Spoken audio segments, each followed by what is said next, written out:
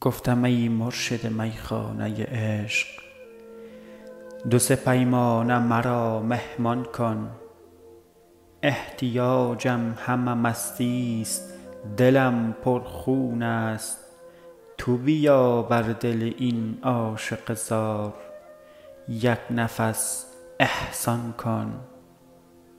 پاسخم داد بهای طلبت بسیار است.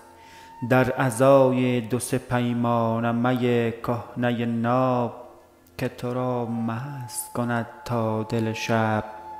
چه برایم داری؟ کیسه زر دادم. پیر زرهای مرا برگرداند. گفت این مستی و شیدایی عشق بس در اینجا ندهند گرچه هزاران باشد. گرچه عاشق شدی و مست شدن شیوه توست بایدت دل بدهی. سینه را بشکاف و دلت را به بهای می میخانه بده. سینه را چاک زدم و دل پر تپش و پر خون را در عزای شب از عشق تو بی خویش شدن.